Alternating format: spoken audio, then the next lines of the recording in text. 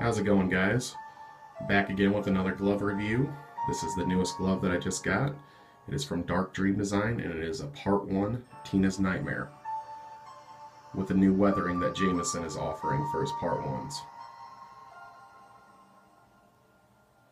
Now this glove is made with type M copper pipe and .02 brass, identical to the movie. Now to get started with the new weathering,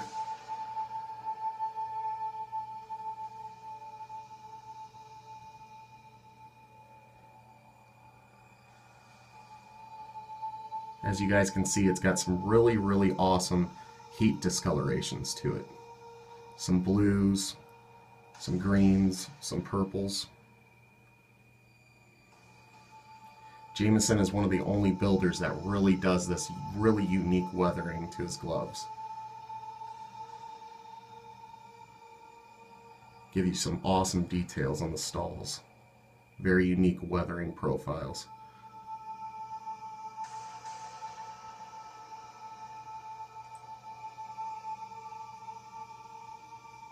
Each stall looks different. You got some different color patterns on each one. Some are some stalls are dirtier than others, like the middle stall, you got some more blacks,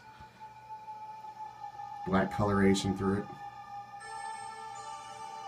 The pinky's a little bit cleaner than others, but it's got that real nice blue heat discoloration. It's really nice. Like if you look at the pipe scrape scene, it really reminds me of that. Like if you uh, pause it at certain parts, certain angles, you can see the real good heat discoloration on the stalls in that scene. He was able to reproduce that pretty well in my opinion. Now on the back plate, all new weathering that he's doing. It turned out great. Stain is identical to the movie.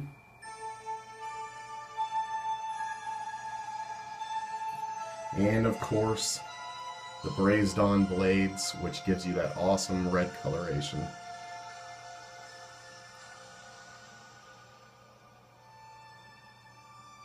Jameson has perfected the brazing. This really gives him that signature look of the part one.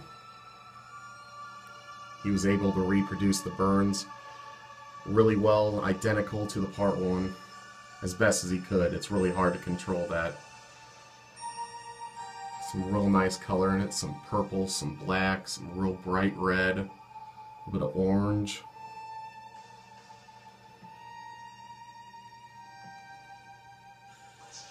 And we got some P210 replica blades by Chris Grantner at Razor Gloves with no blade break.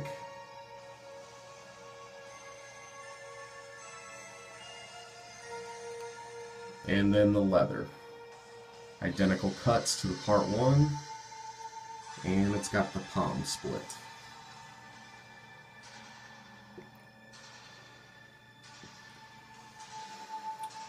And another detail, the hole right there in the thumb. It's also in the movie.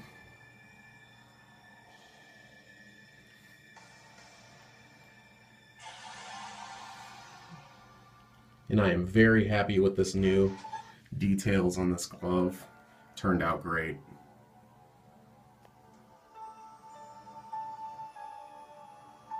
This glove really sticks out in my collection with that new weathering. Very pleased with it. So if you guys want a glove from Jameson at Dark Dream Design, just go to darkdreamdesign.com he offers pretty much every single glove from the series. Or you can find him on Facebook.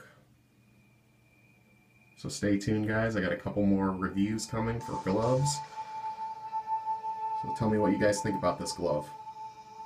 Thanks for watching.